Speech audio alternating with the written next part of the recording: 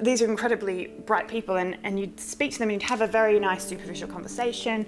What have you done today? You know, what's, what's new on YouTube, whatever else. Uh, and then you'd ask, what do you want to do when you grow up? And they say, I mean, that's not up to me. Or, well, I used to want to do this, but that was before. Or the most heartbreaking thing, I think, is well, I can't do anything because I'm never going to have a home again. Or that was, that was for before and, and now I don't have any options.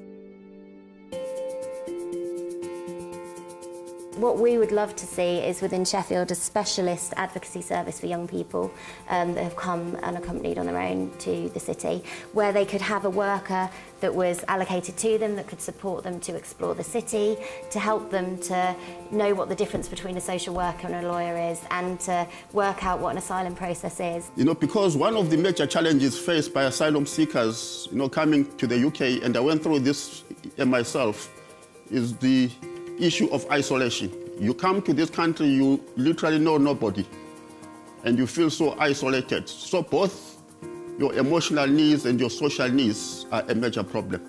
They didn't really take them seriously. They did a, really hard job to try and get the policymakers to take them seriously because they were young people. As a result of our workshop, um, at least one of the major international child protection agencies agreed to approach its policy. We didn't have statistical support for the conclusions, but we had enough uh, descriptive data to make it clear that um, policies must be more holistic. Access to healthcare services as well becomes a bit of a challenge. It's almost as though the come into the country policies are getting better, but once you're there, it's like they just pretend that you're not there, you know, so how do you then live?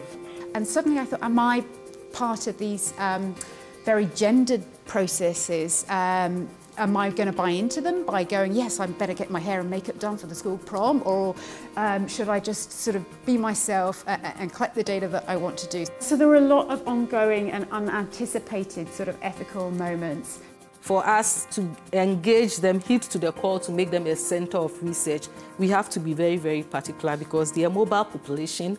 They are highly illiterate because they are not in school, especially the street and trafficked children. They are not in school. There's a UN international agreement that everyone has the right to enjoy the highest attainable standard of physical and mental health.